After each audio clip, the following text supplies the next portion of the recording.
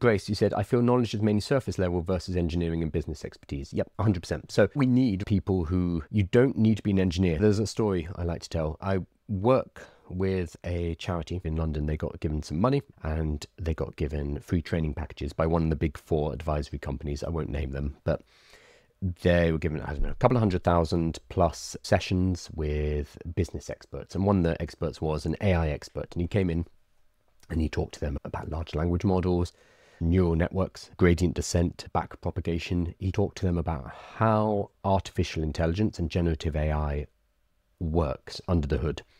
And these executives who ran this charity did not need to know that and left more confused a few weeks later. And I noticed that there's like hesitancy, like lots of people thinking, oh, no, AI is very technical, it's very difficult. It's because this guy who had two PhDs and had written a, a textbook about machine learning had taught them the basics and it taught them how, not what they should be using it for. So I had to break through that and I said, can you use WhatsApp? Yeah, yeah, we can use WhatsApp. Cool, you can use ChatGPT and then basically got them into ChatGPT, which this guy hadn't bothered doing. I got them into ChatGPT and showed them this is how you talk to it. You literally have a chat with it, hence ChatGPT. And you could see like the relief on people's face. Oh, what? You can what?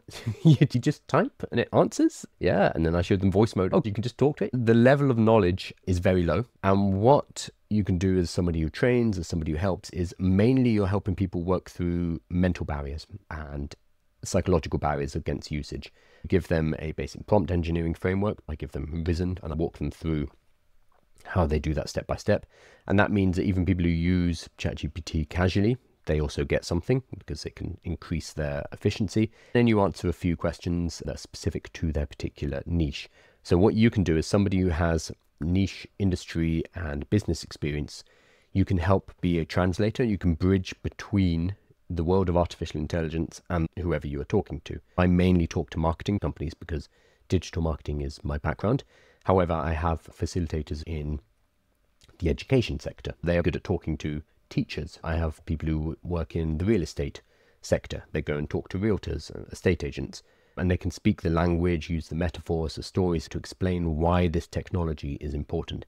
That's more important than being able to explain the engineering behind it because most people do not need to know to use the internet. We don't need to know uh, what a URL is. We use the internet every day. Learning the engineering, learning how to create these things, really cool, but you need a machine learning degree, probably a PhD. Most of the value we can add is not at that level.